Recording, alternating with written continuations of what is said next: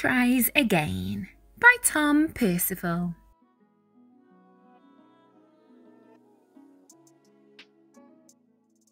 Tilda's world was just as she liked it.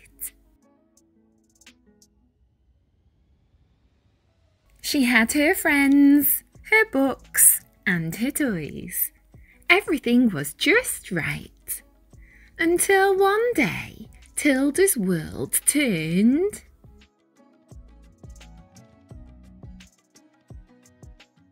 Upside down.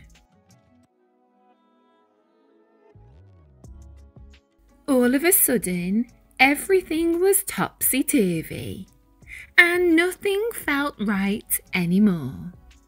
Things that had once seemed simple now felt incredibly difficult.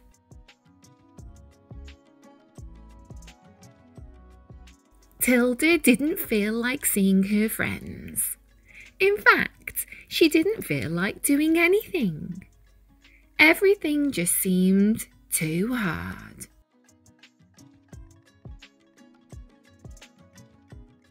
Eventually, Tilda gave up and decided to do nothing.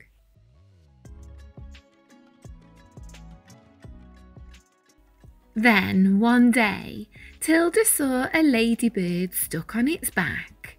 Its tiny legs waggled in the air. Poor little thing, she said. You're all topsy-turvy, just like me. As Tilda tried to work out how to help, the ladybird wriggled and struggled. It was no use. Tilda's heart sank.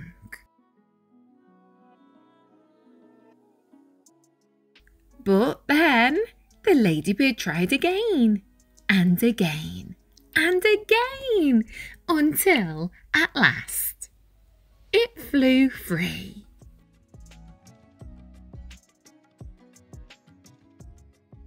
Tilda thought about this.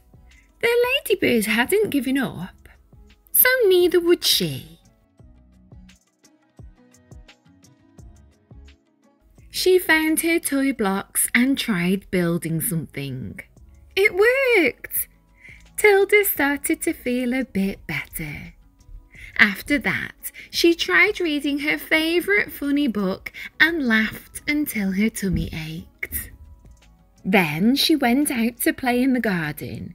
Everything still felt very strange, but Tilda tried her best.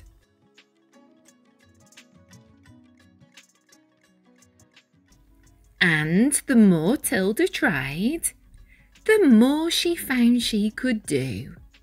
Although there was one thing that still felt too hard.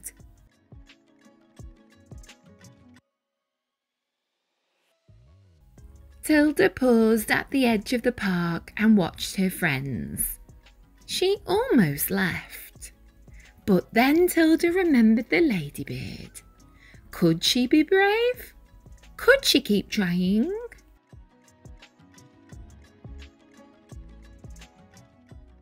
Tilda decided that she could, and it was the best decision she ever made. Even though her world was still a little topsy turvy, Tilda felt she could cope.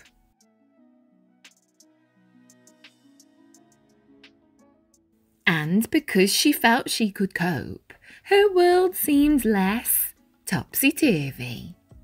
From that day on, whenever Tilda's world felt a bit wobbly, she just tried her best.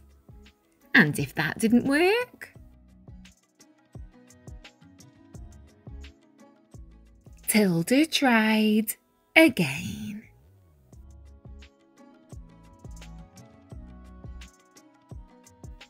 Thanks for watching Love to Read with Miss Ellis. Please remember to like, subscribe and comment. Take care. Bye for now.